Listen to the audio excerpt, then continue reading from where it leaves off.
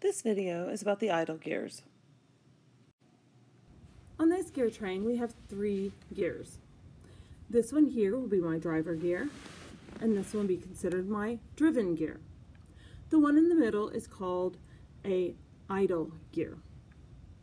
Okay, so I just want to show on this one that the idle gear is just going to make the ones on the outside, the driven and the driver gear, it's just going to make them go in the same direction. Okay? So they're going a clockwise direction. If I had the two gears next to each other, then the driver gear would be going clockwise and the driven gear would be going counterclockwise. But because of the idle gear, it allows it to go the same direction.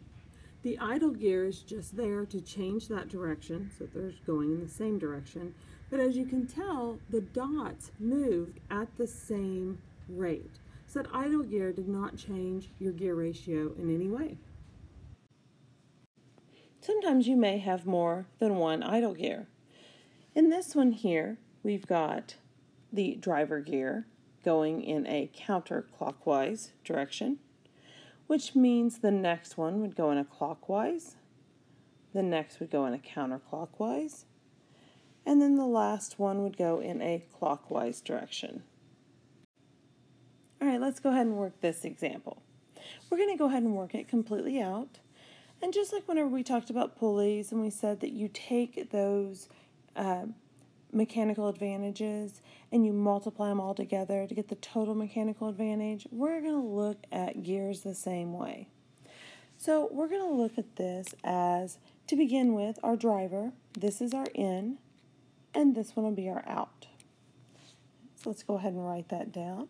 Our number of teeth out is going to be 60, and my number of teeth in is 36.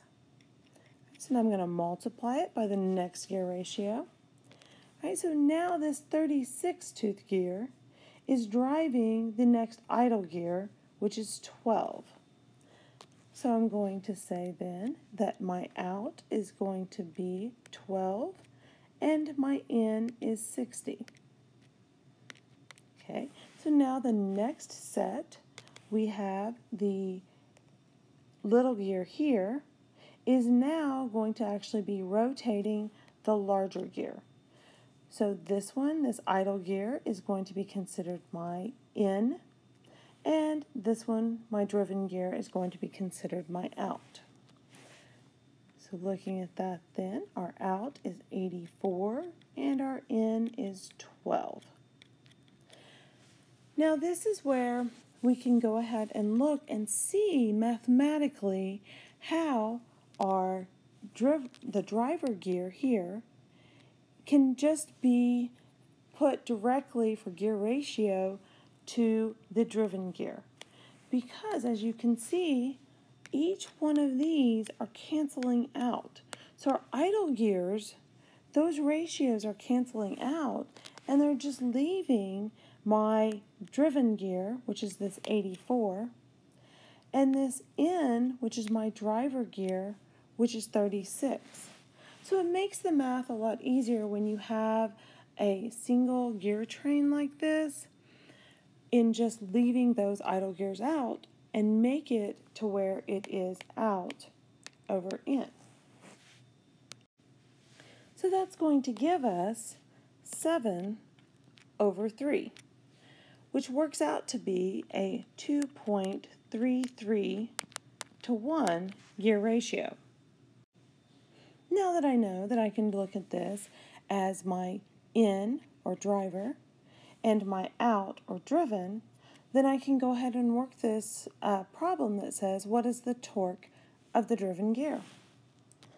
All right, so my uh, number of teeth out, which is 84, divided by my number of teeth in, which was 36, equals my torque out, which is what I'm trying to find, over my torque in, which is 5 foot-pounds.